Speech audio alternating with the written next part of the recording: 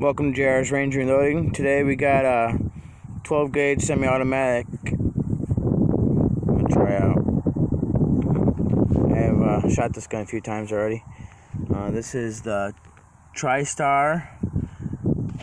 Probably not gonna be able to see it there.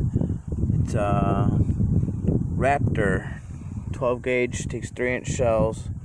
I believe it's a 26 inch barrel. Got a nice fiber optic front. Good for the daylight. Uh, it's got the next camouflage micro print. Overall, so far, it's been a good gun. The only uh, bad review I ever saw on it was this charging handle right here popped out. The guy said he contacted the company and they uh, sent them a new one within 48 hours. So, uh, pretty good customer service.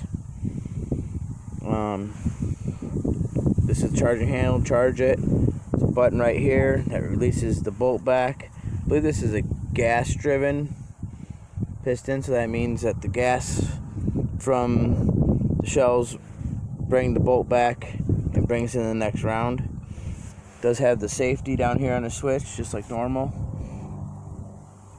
Other than that, so far this uh, this was a nice gun. I picked up at Walmart for $2.98 on sale. Let's run a few rounds through it. Alright, we got it. It's already loaded up, ready to go. The, they told me at the store I had to run some Magnum rounds through this there just to get the cycle running properly.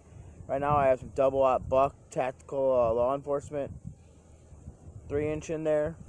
Um, I did clean it after I shot last time. Let's see if it runs uh, this time.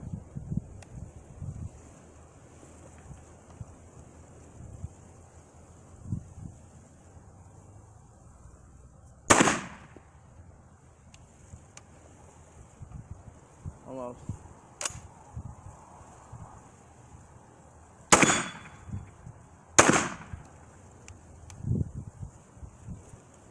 See, it's still having a problem feeding all the way through. Um, I'm guessing it's still not broken all the way.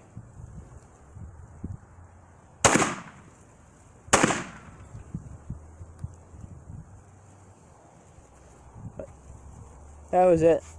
I'm not surprised because they did tell me that at the store. Uh, gun shop uh, said he was going to uh, make sure you run a few Magnum rounds to there. And that's just to get this to cycle properly. I did clean it, run it back and forth a few times, but I'm guessing it still needs to be broken in a little bit more. That's only, I think I shot, that's the third box that I ran through it. The first time I did that to me, the second time I actually cycled properly. Um, no failures. That time it kind of did the same thing. Um, I did shoot some slugs through it, one box of five slugs through it, and it did the same. So we'll just keep running some through it, and I'll do a follow-up review. But there it is. Otherwise, it's a light aluminum gun, framed aluminum. This is all polymer, some kind of plastic. Um, it's it's really a light shotgun. Not bad for recoil. Got the nice butt pad on there. Um, I can't say I'd fully recommend it yet until I get it broken in, and we'll find out then. Uh, so I'll probably do another follow-up review in a little while. We'll uh, run some round through it, hopefully get the cycle properly, and then I'll do my final review on it and tell you guys to buy it or not. Thanks for watching.